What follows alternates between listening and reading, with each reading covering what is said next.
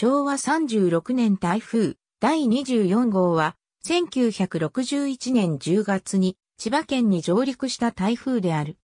進路図1961年10月5日にマリアナ諸島の北方で台風24号が発生した。台風はその後発達しながら北上し、7日には中心気圧895ミリバールを記録するほどの勢力にまで成長。同年に発生した台風の中では、台風18号に次ぐ2番目に強い勢力となった。その後も北上を続け、伊豆諸島に接近し、10月10日に千葉県勝浦市に上陸した。この台風により、日本では少なくとも2人が死亡した。台風が接近した伊豆諸島の八丈島では、台風による潮風害が発生した。